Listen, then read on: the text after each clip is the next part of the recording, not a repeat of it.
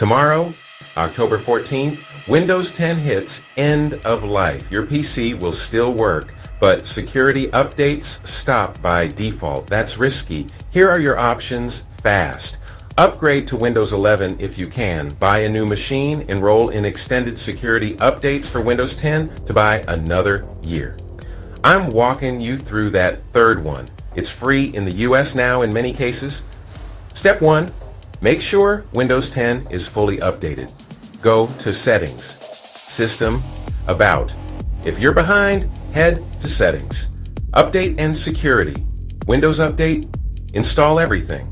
Step 2 Use an admin account. Settings. Your info, confirm it says Administrator. If not, switch to the admin profile. Step 3 Verify if your PC is eligible to upgrade to Windows 11 or not. If you see an option to upgrade to Windows 11, just do that.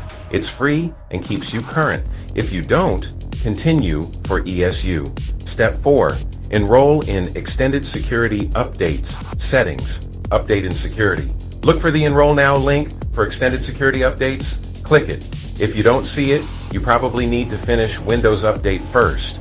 Step 5. Choose how to enroll. Easiest path free cloud backup method. Sign in with a Microsoft account. Free backup covers 5 GB on OneDrive. To stay under that, settings, OneDrive, toggle off documents, toggle off pictures, toggle off videos, backup only what you need, sign in when prompted. You'll see add this device to receive extended security updates. Click add device, then done. That's it. Security updates for another year. Quick notes. If eligible for Windows 11, upgrading is the cleanest long-term move. If not, ESU buys you 12 months to plan your upgrade, replace the PC, or switch platforms. Remember, only enroll through settings. Don't click random pop-ups or emails about ESU. Phishing is real. Always keep a current backup before making changes.